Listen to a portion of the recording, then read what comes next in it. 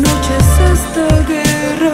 donde nadie obtiene paz y jamás hay una